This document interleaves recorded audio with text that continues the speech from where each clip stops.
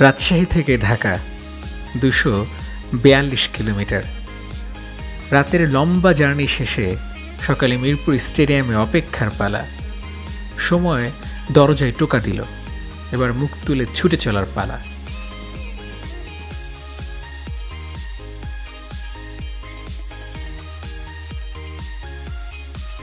প্রান্ত, এক যুবক, যে তার স্বপ্ন পূরণের জন্য ছুটে এসেছেন মিরপুর শেরি বাংলা স্টেডিয়ামে।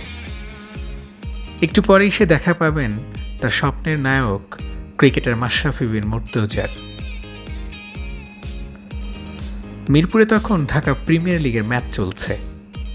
মাশরাফির আবহানির মুখোমুখি লিজেন্ডস অফ রূপগঞ্জ মাঠেই প্রথম মাশরাফির ফিল্ডিং দেখতে পারা শিহরিত হয় প্রান্ত। ঠিক যেন বাউন্ডারি সীমানার প্রান্ত ঘেঁষেই দাঁড়িয়ে প্রান্তর কিংবদন্তি।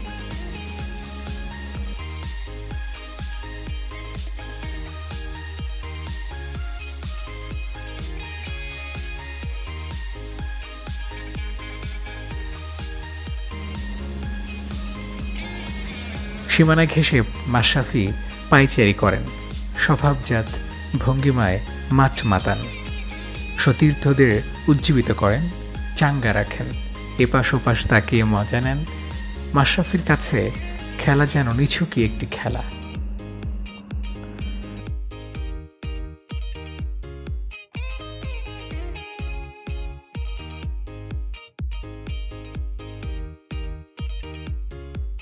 প্রান্তর খেলা দেখা সঙ্গী ওর বন্ধু।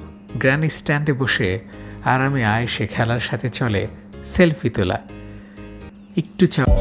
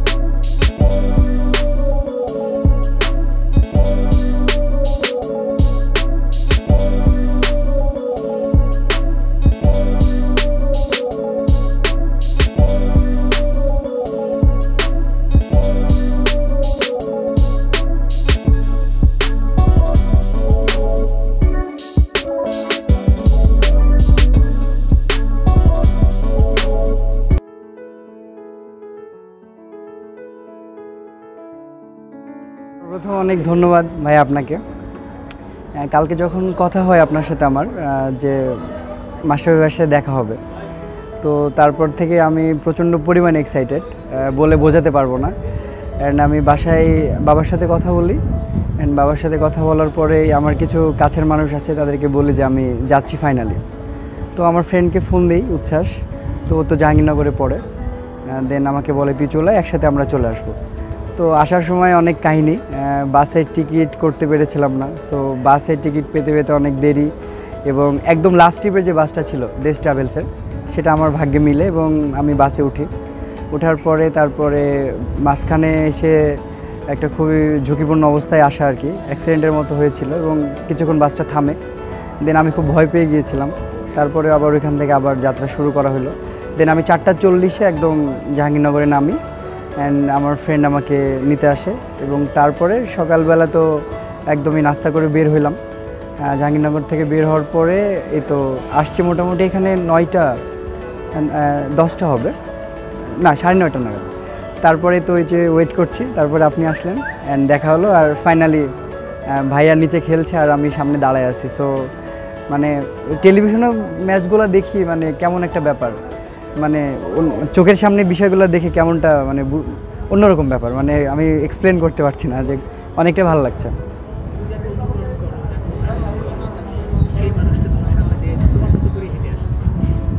আমি আমার ফ্রেন্ডকে প্রথমে ওটাই বলছিলাম যে, দেখ মানে ওইভাবেই ভাইয়া জাস্ট হাঁটছে, ওইভাবেই মানে আমি তো টেলিভিশনে দেখি থাকি আমি তো কখনো কাছে দেখতে পাই না, উনি যেভাবে হেঁটে আসেন যেভাবে গাইড করেন, ঠিক ওভাবে আসছে। সো আমি মানে কি বলব, আমি জাস্ট মানে অন্যরকম একটা অবস্থা মানে চোখের সামনে এরকম একটা ব্যাপার। সো আমি ওনার সাথে যে দেখা বা কথা বলতে পারি আমি তো জাস্ট মানে কী করব আমি জানি না।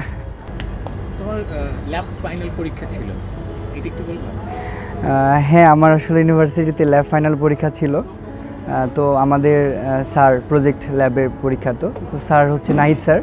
তো কালকে আমি তাকে ফোন দিই যে স্যার এরকম ঘটনা আমি মাস্টার সাথে দেখা করতে যাব। সো আপনি যদি আমাকে একটু বিষয়টা বিবেচনা করতেন। তো স্যার আমাকে সাথে সাথেই বলছে যে নো প্রবলেম তুমি এমন একজন মানুষের দেখা করতে যাচ্ছ, সেটা শোনার পর আমাদেরই ভালো লাগছে। অ্যান্ড এটা মনে হয় খুব একটা অন্য উচ্চতায় নিয়ে যাবে তোমাকে। তো তুমি যাও, তুমি যেদিন ইচ্ছা এসে আমাকে জাস্ট নক করবা অ্যান্ড তোমার ইচ্ছা মতো এসে প্রেজেন্টেশন এবং বাদ বাকি যে অ্যাসাইনমেন্টের কাজগুলো আছে, তুমি মানে ফাইনালি সাবমিট করবা, আমি তোমার জন্য আলাদাভাবে দেখব নো প্রবলেম সো আমাকে তো স্যার এই কথা বলে এবং আমি সাথে সাথে বলি থ্যাংক ইউ স্যার অ্যান্ড আমাকে বলছে, তুমি অবশ্যই জানাবা অ্যান্ড ছবি যদি তুলো, আমাকে দিয়ে পাঠাবা. সো আসলে এই কথাটা বলতে গেলে একটা ছোটোবেলার গল্প বলা লাগবে। আমি যখন ক্রিকেট খেলা বুঝি দু হাজার সাত সাল যখন প্রথম ওয়ার্ল্ড কাপটা থাকে, তো ওই সময় আমাদের বাসায় কারেন্ট ছিল না, বিদ্যুৎ ছিল না। তো আমাদের ব্যাটারির সাথে কানেকশন দিয়ে খেলাগুলো দেখতে হতো।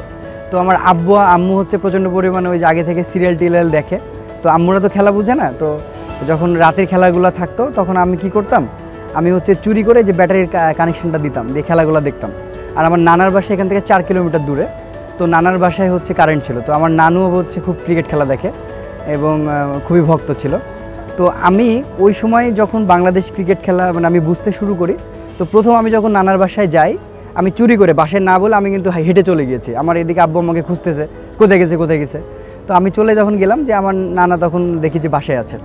তো আমি যাওয়ার পরে প্রথম আমি যখনই ক্রিকেটটা বাংলাদেশে দেখি একজন বল করছিল।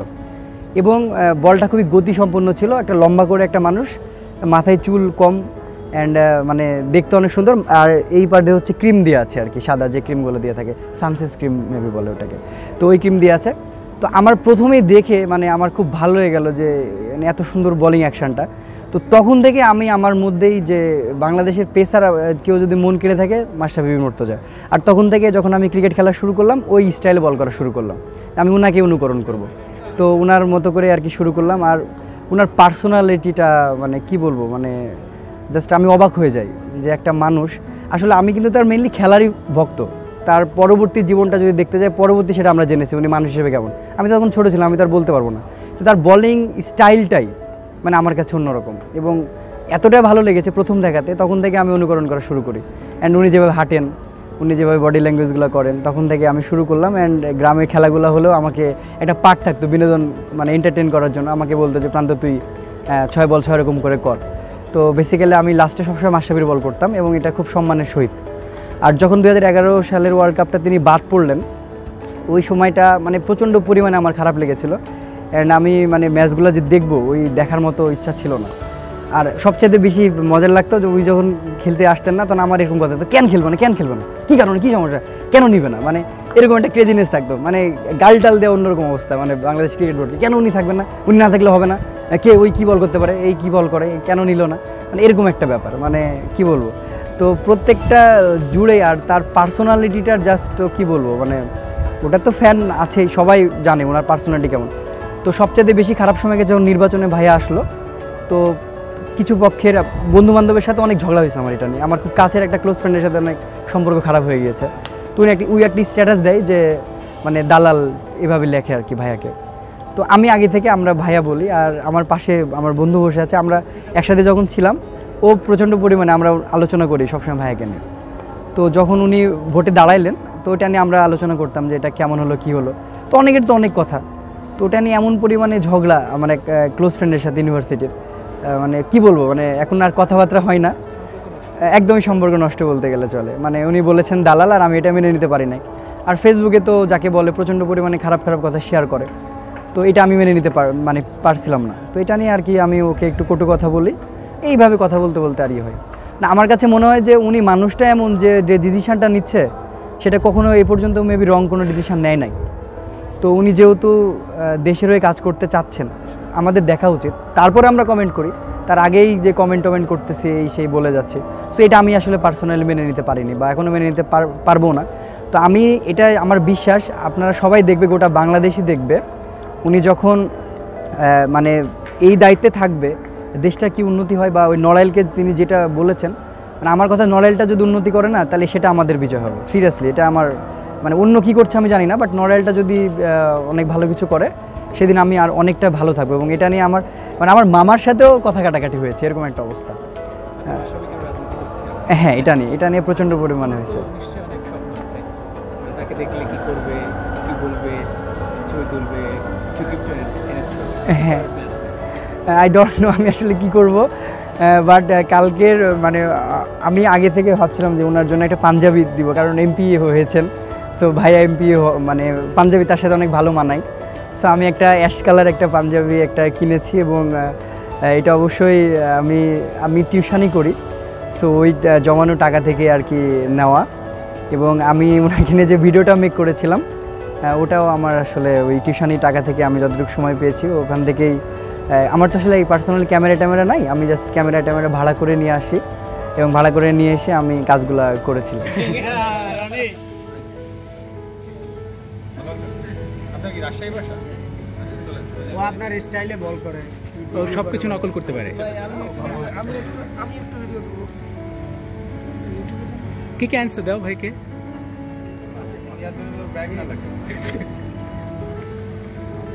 ভাই আপনার নাম কি ভাই? রাজশাহী থেকে আসছেন ক্যাপ্টেনের সাথে ভাইকে দাও। ব্যাগটা নিচে রাখো।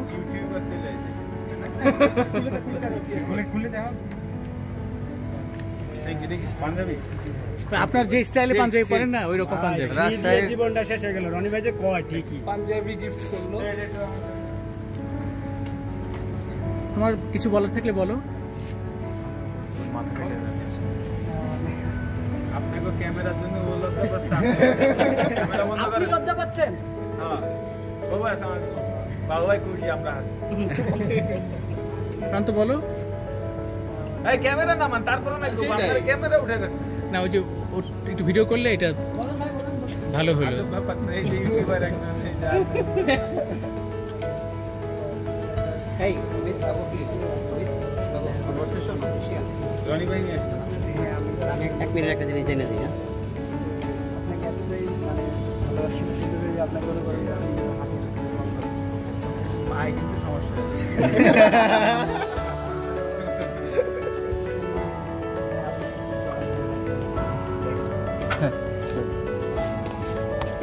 ভালো। আর আসেন। উচ্ছ্বাস। ও, জাহাঙ্গীরনগরে পড়ে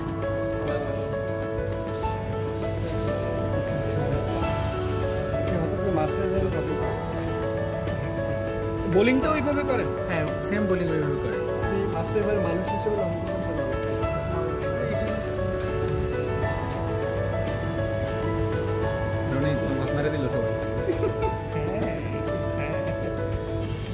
সবাই রনির ভাত না দিল পাঞ্জাবি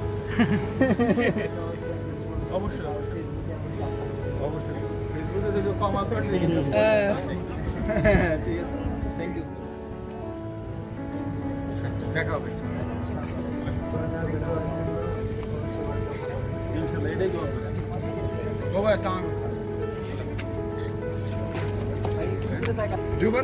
প্রান্ত পিছনে মাশরাফি সামনে তুমি।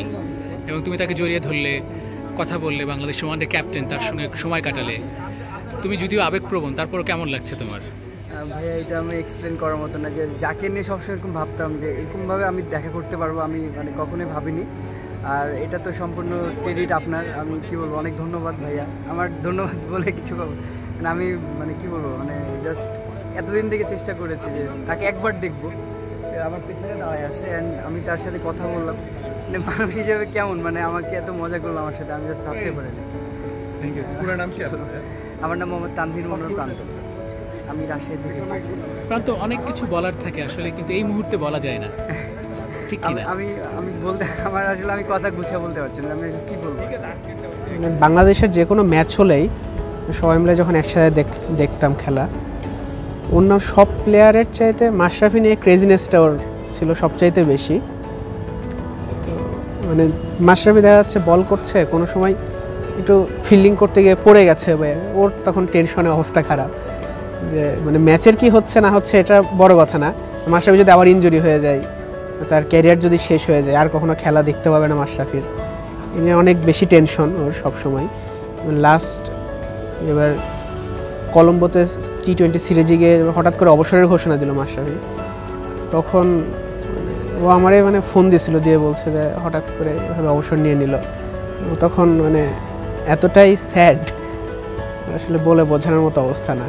ও যে ইউটিউবিং করে, প্রথমে যখন আর আমরা যখন একসাথে খেলাধুলা করতাম ইয়ার রাজশাহী মেডিকেল মাঠে, তো বিভিন্নভাবে মাশরাফির স্টাইলে সাকিবের স্টাইলে, ন্যাশনাল বা ইন্টারন্যাশনাল অনেক বলারের স্টাইলে বল কপি করতো। তো মানে তার মধ্যে মাশরাফির স্টাইলটাই সবচেয়ে বেস্ট ছিল আর কি। তো সব সময় মানে মাশরাফি নিয়ে ওর আবেগটা ক্রেজিনেসটা অনেক বেশি সব ক্ষেত্রেই।